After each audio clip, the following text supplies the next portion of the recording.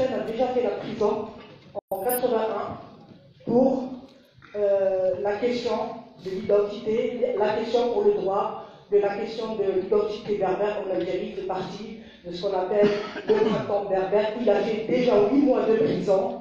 Euh, aujourd'hui, il est arrêté. Euh, il n'est pas arrêté comme on veut nous faire croire parce qu'il y a un financement extérieur. Daniel Simonet l'a rappelé. C'est pas ça qui gêne parce que nous le savons. Même les institutions de l'État reçoivent des subventions extérieures. Donc ça, c'est un prétexte.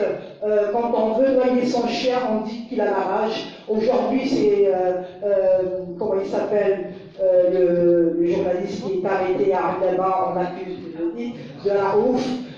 Qui, qui, a arrêté. Et, tous, d'ailleurs, ils ont quelque chose. Il y en a qui ont fait le, pouce dans un, truc du MAC.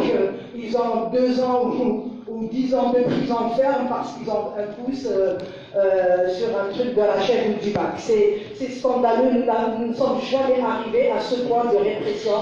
Me semble-t-il, euh, en tout cas de cette manière, la répression n'a plus existé. Donc mot rapidement, pourquoi c'est le collectif international des, avocats, c'est voulu un collectif international euh, parce que justement, après de longues réflexions, moi je fais partie du comité de soutien à tas des personnes, après longue réflexion avec sa famille, euh, nous, euh, c'était pas évident.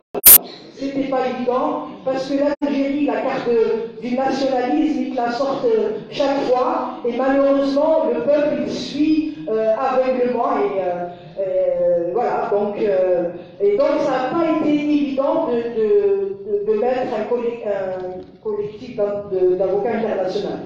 Le choix, c'est pour dire que euh, on veut faire du procès de Brad un procès politique, un procès euh, pas de, comme le veut le, pouvoir, mais un procès politique qui sera pris en charge par des avocats pas seulement d'Algérie. Il y a des avocats tunisiens, il y a des avocats marocains, je le rappelle parce que pour les Marocains, vous le savez très bien, c'est pas facile. Dès qu'on parle de Maroc, c'est Marzen, alors que euh, nous sommes euh, amis des Marocains de la société civile. Et d'ailleurs, les, deux avocats du, Marocains sont les avocats du Hirak euh, marocain.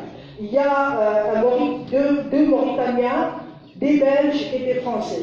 Le but, c'est, comme je le disais tout à l'heure, c'est que ce procès, il faut qu'il soit un procès politique international.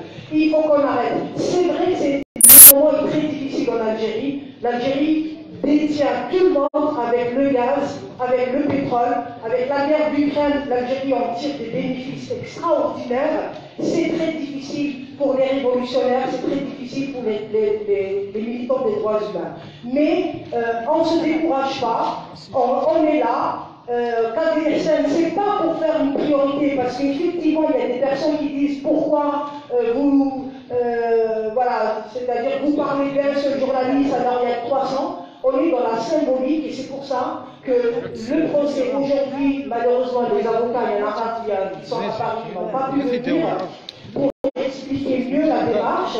En tout cas, la démarche se veut politique, internationale. J'ai pas envie de de faire le procès de l'Algérie parce que le procès de l'Algérie se fera en Algérie, c'est certain, par les Algériens, et on ne se décourage pas parce que les Algériens qui sont sortis en 2019, je peux vous dire, en décembre 2018, on aurait fait le pari de tous les paris du monde pour qu'en février 2019, il y aurait des millions de on aurait, personne n'aurait osé épargner.